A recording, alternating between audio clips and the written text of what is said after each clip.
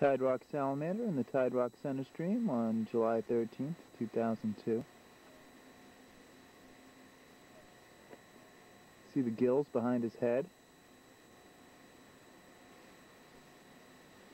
Again, this is July. Salamanders are in the stream 365 days a year. They need a constant flowing of water.